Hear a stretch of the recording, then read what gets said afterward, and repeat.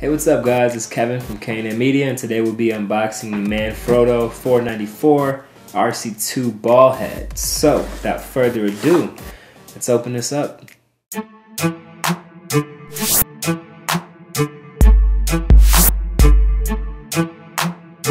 Right, so we are very excited about this because we'll be using it with our uh, brand new Konova K2 slider that we just got it's going to be incredible with this. And we needed a ball head because with any other type of head, if you were to put the slider on an angle, you wouldn't be able to adjust it to make the camera level. So this is what having a ball head allows you to do.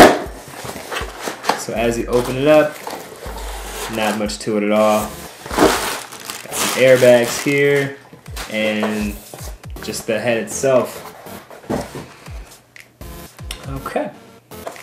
So let's go ahead and open this up. As you see on the box, there's really nothing to it at all. Just the uh, company name, and then you have 494 RC2 mini ball head. Okay.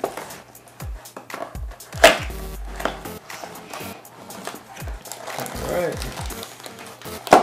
So next you have a bag, and there's nothing else in the box so put that to the side.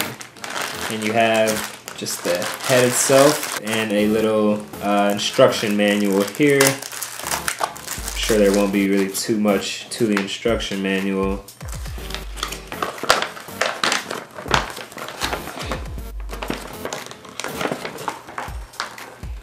just pretty much showing you how to attach everything, like the quick release plate, uh, lock it, all the stuff that obviously needs explaining for people who aren't familiar with uh, tripod heads. All right, so now just to talk a little bit more about the head itself. Uh, it's completely made of, an, of aluminum. You have a little bit of a rubber type of composite on top here, which keeps the camera steady.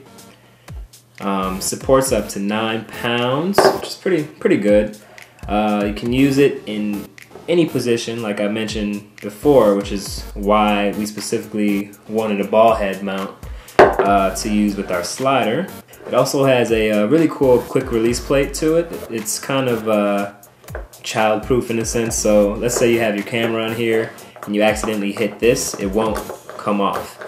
You need to actually hit this and this other little lever down here to uh, release the plate.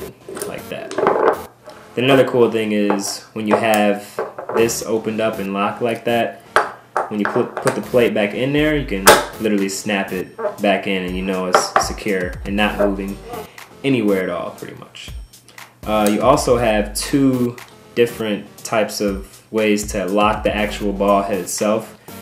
Uh, this knob here is for friction, so this determines you know how hard or easy it is to move once you've unlocked it here. And this is the locking plate. And then this also has a, you know, movable uh, position to it. So if you don't want it in this position, you can just move it to this position to be more out of the way. Uh, so yeah, that pretty much wraps up uh, this unboxing. We also must, must mention that the uh, bottom mount here is a 3 8 mount. Uh, so if you have a slider, like once again the Konova K2 slider, which we just got, the uh, mounting plate for that is a 3 8 mounting plate. So that will go right on top of that, like that, and then the camera will attach here. So it's gonna be very, very, very nice of a ball head for us to work with when using that, and uh, definitely can't wait to get to working with it and make some really, really cool videos.